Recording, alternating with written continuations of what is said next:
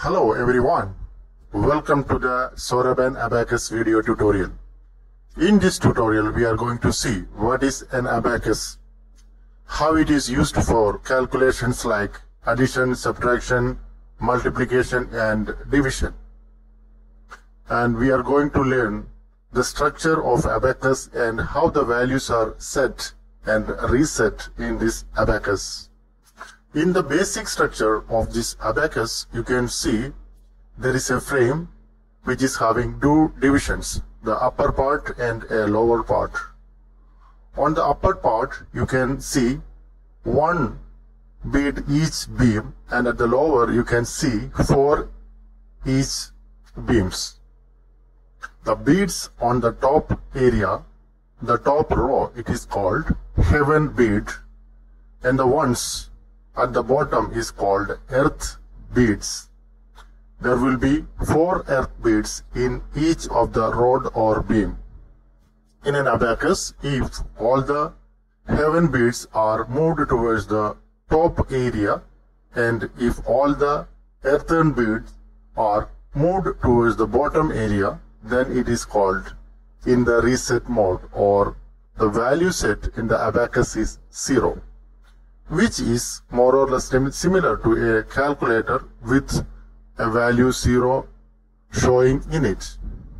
Each of the heaven beads are having the value of 5s and each of the earthen beads are having the value of units or 1. And also the values of the beads depends upon the position of the rod in which it is existing. That means the value from left to right, it is increasing. The rods are units, tens, hundreds, thousands, etc. That means the units rod, each of the earthen beads in the unit rod will be having one value each. And the value of the earthen beads of the tens each will be having value 10 each when it is set. At the same time, heaven beads, to set it, it should come down and it should be moved up to reset. Here we have an example. Now the abacus is set 1. The value of abacus is set to 1 by moving 1 earthen bead towards the top area. Now it is 1 is represented in the abacus. And the movement is done in the units rod.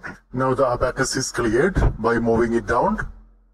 And if you move two bits towards the top, then the value is 2. You fall down, again clear. And if you move three bits from the earthen bead towards top, then the value is 3. Now clear.